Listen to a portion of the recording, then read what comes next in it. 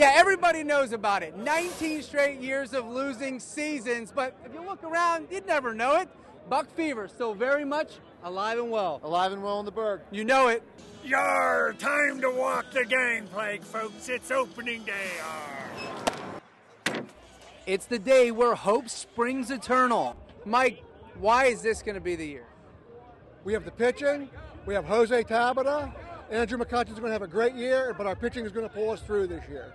Baseball's annual rite of passage had all the sights, all the sounds, Let's go Bucs! Let's go Bucs! and of course, all the food. We had Jenny's famous chocolate chip cookies. Best in Pittsburgh?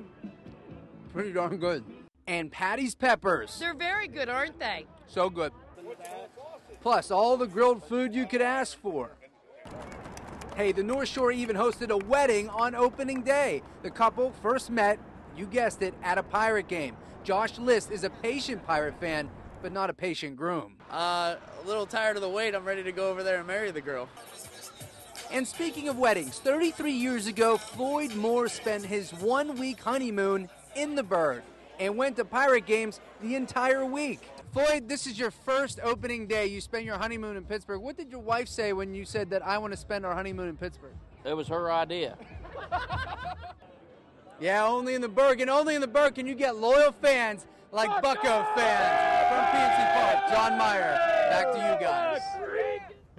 Pirates and Phillies fans put the new North Shore connector to the test. Our cameras were in the new Northside station. And Andrew, you got a chance to ride the connector this morning. That's right. Parked downtown, went over to the connector station, went down there. Plenty of fans joined me for the, uh, the ride. About five minutes, and right there at the ballpark, it was perfect. I'd do it again. It was cool. It was a lot of fun. Oh, I love it. Best way to get to a game.